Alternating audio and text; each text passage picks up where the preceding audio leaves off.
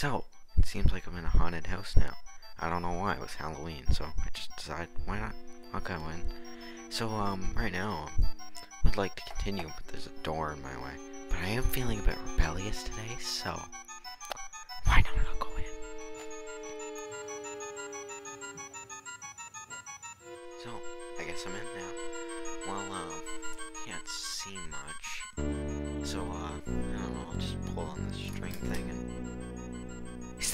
This haunted house really is scarier than I thought. Uh, so, this room looks pretty... this haunted house really is scary. Well, a haunted house can't stop me from playing video games, especially Nintendo games. So it seems when we entered the cartridge, this is actually a collection of five games. I'm gonna go with two. That was just a misinput, I swear. Five Nights at Freddy's, released by Scott Cawthon in 2014 on PC. The game started out as a Kickstarter but ended up getting cancelled fairly early on. It was inspired by one of Scott's earlier games, Chipper and Sons Lumber Company. Its design was criticized for having characters that looked like Chuck E. Cheese animatronic, so he decided to use that criticism to create Five Nights at Freddy's. When we get onto the title screen, I can already tell why this is a horror game. Is that a bear? So, when we start the game, we learn that Freddy Fazbear's Pizza is hiring for a new night guard, and that night guard, of course, is us. So, on the first night, we get introduced to Phone Guy. He's mostly here to deliver us something the Five Nights at Freddy's series is known for. So, this is Five Nights at Freddy's. In this game, you use both the left and right doors to defend yourself from animatronics, as well as using the camera to see where the animatronics are located. There are four main animatronics you have to worry about in this game. First, there's Freddy Fazbear, the basically icon of the whole series at this point. He's a bear with a uh, bow tie and a top hat, and he's the singer in this animatronic band. Then there is Bonnie. He is a purple bunny, and he plays the guitar. Next up, there's Chica. She has a white bib that says "Let's eat" on it. I, I don't know what she's eating. Uh, brains? long. Uh, they used to be allowed to walk around during the day too, but then there was the bite of '87. Yeah, it's amazing that the human body can live without the frontal lobe. You know. Truly bad timing. Finally, there is Foxy, who is a fox and a pirate. Truly one of the most terrifying combinations.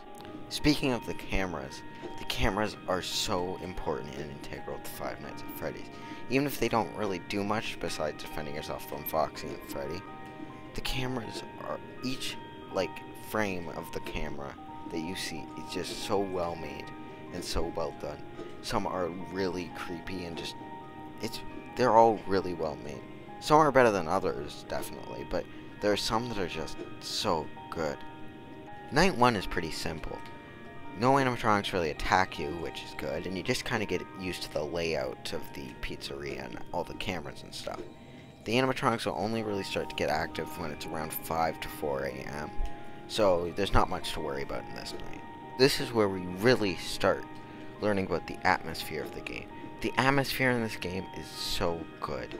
The buzzing sound from the fan, the sound of switching cameras, the random music that'll sometimes play, like the music box that'll occasionally go off on the cameras, and the uh, Pirates Cove music that Foxy sometimes sing, all just add to this eeriness and this atmosphere that this game is trying to portray, which is really good. This is where we get introduced to the animatronics mechanics, really.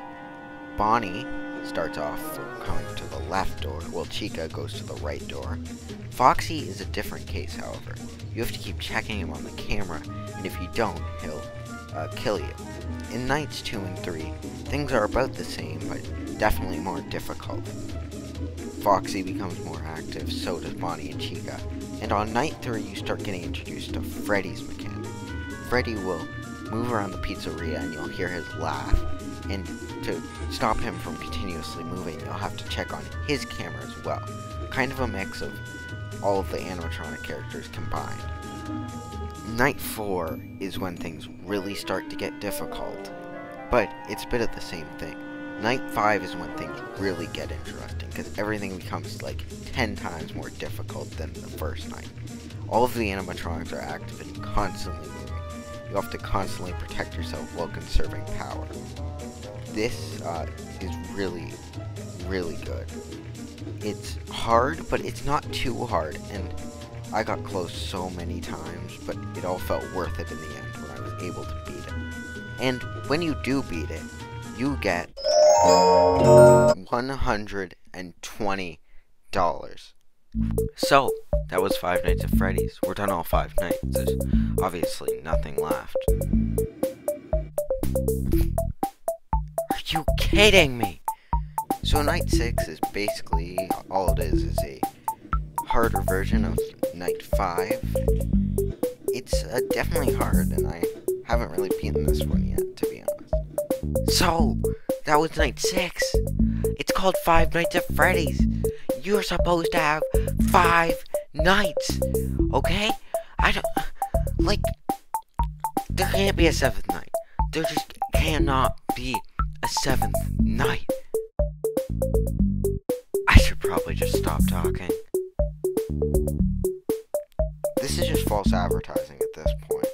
Custom Night is just a mode where you're allowed to customize all of the animatronics difficulty. I've heard of this cool like combination online. I should probably try it.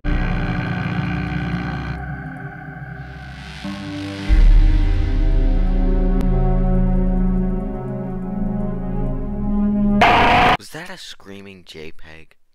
Oh wait, I know what this is. That is... One more thing I have to mention are cheats. Cheats just basically make like nights easier with unlimited power or faster nights or radar map to see where everyone is. It doesn't add too much, but it definitely makes the game easier. So, that was Five Nights at Freddy's. It was definitely better than I expected. It had some great atmosphere that left you on your toes and actually got you scared during a jump scare. It had these little hallucinations that kind of put you on edge, these sounds and music, well, music in quotation marks, that really added to the experience. If they weren't in there, there wouldn't be much atmosphere at all. So that is really great about it. The gameplay is definitely simple, and I liked that they kept the story simple for at least the first game, because if you know anything about this series, it does get pretty confusing later on. Five Nights at Freddy's became big even before it came out, with popular YouTubers playing the demo, which only featured like the first three got a lot of merchandise because of this traction and because of the sequels, things like action figures, posters, plushies, and, and just so much more. This series has become basically a cultural icon at this point. It has a movie in production, it has a game now that's coming out in December, seven years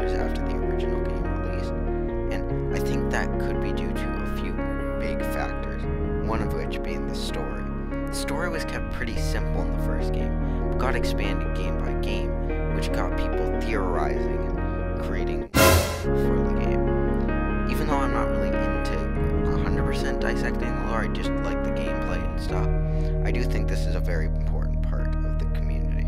But I think there's actually just one big thing. It's a small part of the game, but it's what allowed the game to become as popular as it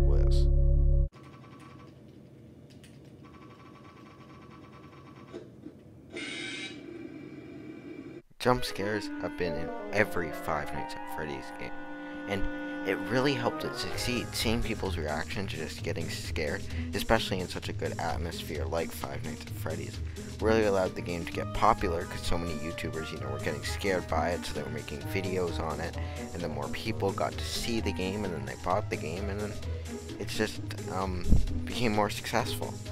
The jump scares in this game, though, aren't as good as in other games, but they aren't as bad as in some other games, too. They have some decent jump scares like Freddy's, but they also have some mad jump scares like Foxy's, who just comes in from the left door, which doesn't really work. It's just something feels lacking with these jump scares. A lot of the time, the characters are just kind of shaking the camera, and That's okay, but compared to other jump scares where they're literally jumping at you, something just kind of feels lacking. So, that was Five Nights at Freddy's. It's definitely a good game. It has some great atmosphere and simple but complex gameplay. Each animatronic has some great character designs, I like them all. And this game is just so much fun. It makes sense why it got so many sequels and became as popular as it did. So, I think I'm done here. I'm just gonna go. I'm gonna take a game with me too. I'll probably, uh, you know what? I'll try, uh, two. Why not? I wasn't able to try. I probably should get my controller fixed.